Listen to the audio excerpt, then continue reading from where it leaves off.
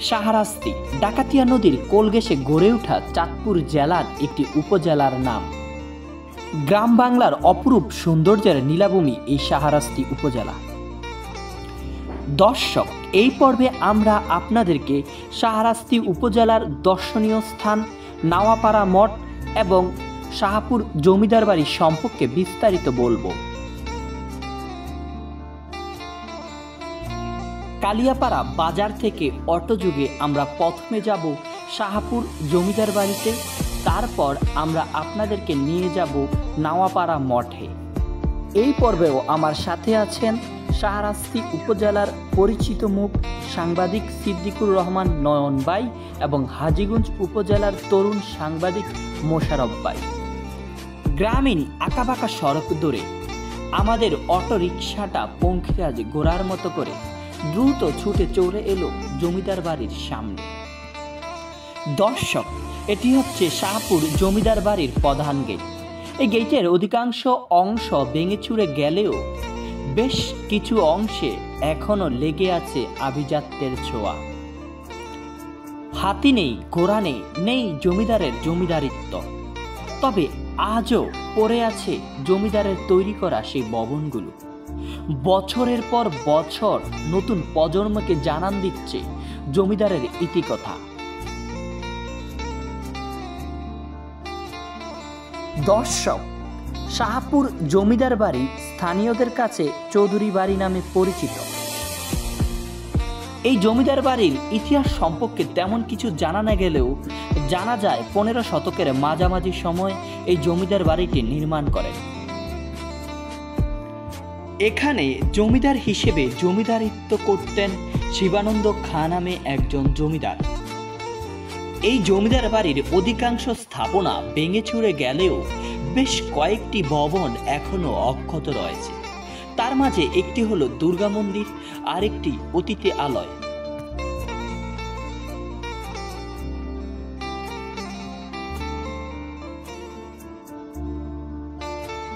দর্শক, আমি অনেকগুলো জমিদার বাড়িতে গিয়েছিলাম।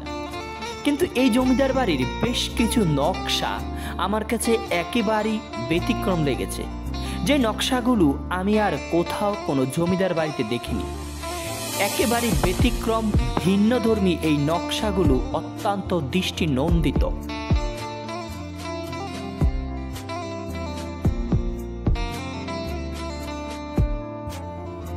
এই নকশাগুলো কিসের তৈরি কিংবা কীভাবে তৈরি করা হয়েছে সেটি সম্পর্কে আমার ধারণা নেই। তবে অত্যন্ত সূক্ষ্ম এবং দৃষ্টি নন্দিত এই নকশাগুলো।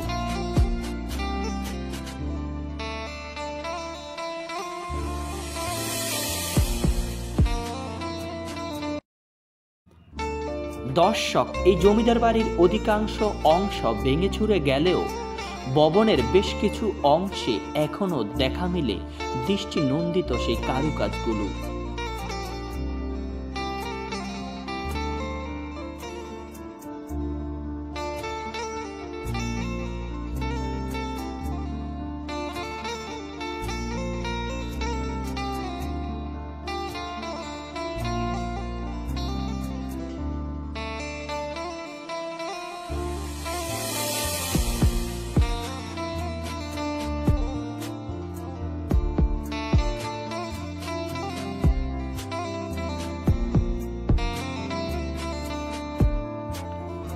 দর্শক, দীর্ঘ সময় ধরে আমরা জমিদার বাড়ির প্রতিটি অংশ ঘুরে দেখার চেষ্টা করছি।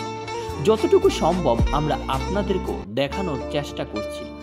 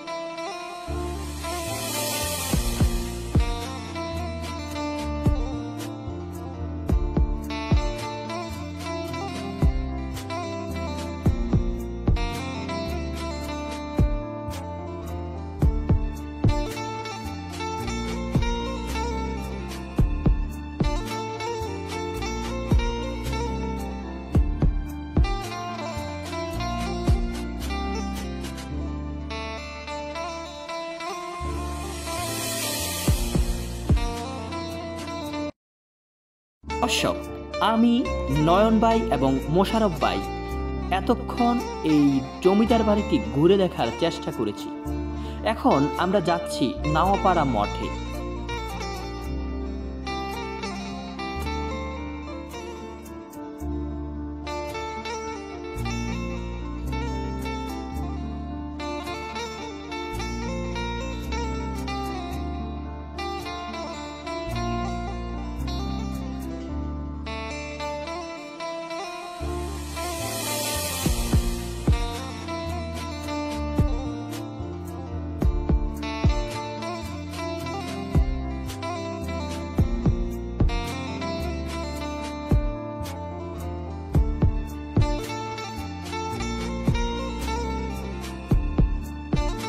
ঘোড়ানে আছে অটোরিকশা।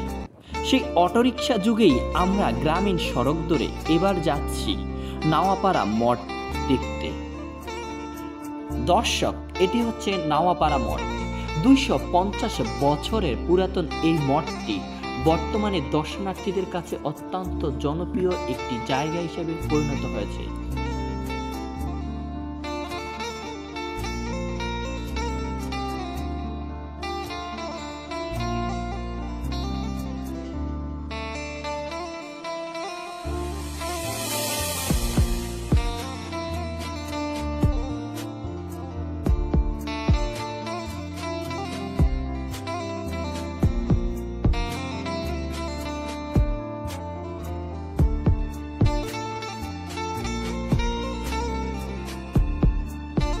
দর্শক দুশো পঞ্চাশ বছরের পুরাতন এই মঠটি হলেও এখনও অক্ষত আছে মঠের প্রতিটি অংশ।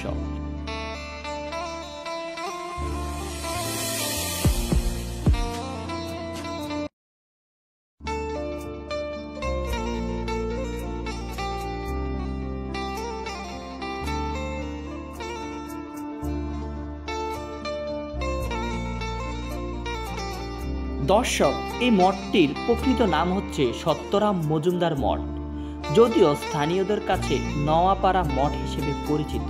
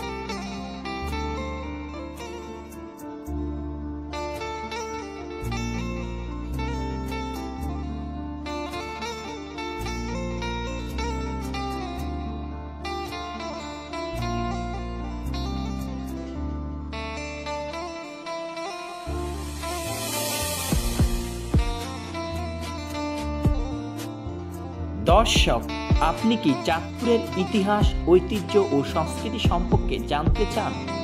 তাহলে আমাদের চাঁদপুরিয়ান ইউটিউব চ্যানেলটি সাবস্ক্রাইব করুন এবং ফেসবুক পেজটি ফলো করুন।